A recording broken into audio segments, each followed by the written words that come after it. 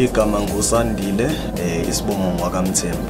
Ngiqhamuka emandeni endaweni yakasithebe ngifike la eMaritzburg ngizosebenza under Department of Health eh it was 2017 la ngaqala khona ngizosebenza as an intern.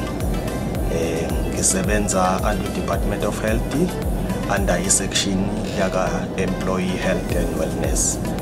La engicoordinator khona engiwucoordinator waka sport and physical activities. I-section yami idila kakhulu eh ngabasebenzi.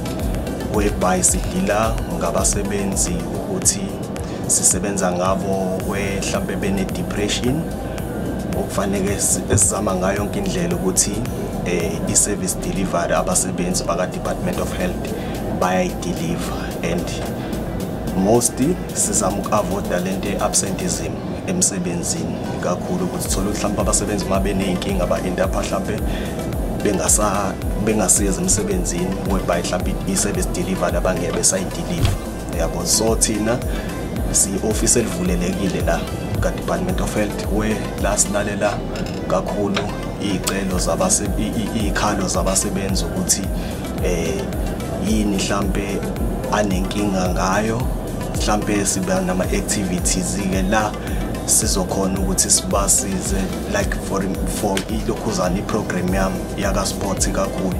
Thola ukuthi abanye abasebenzi i-absenteeism ayisabi khona kakhulu emsebenzini because thola ukuthi omunye umsebenzi uselangazelela ukuza kakhulu emsebenzini because of indaba ye-sport uyazi ukuthi hayi no sengiyeza emsebenzini because hayi ngiyazi ukuthi mhlawumbe ngo-tuesday ngizohamba ngiyoparticipate as a person okuthiwa uphila ngokukhubazeka because mina I, I even forgot that.